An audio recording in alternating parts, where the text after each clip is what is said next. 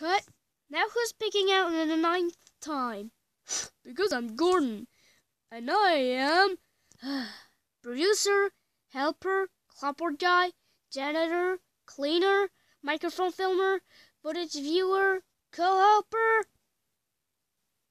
No, no, Dee. But actually, I am the light filmer. Wow, we don't actually we have a light filmer.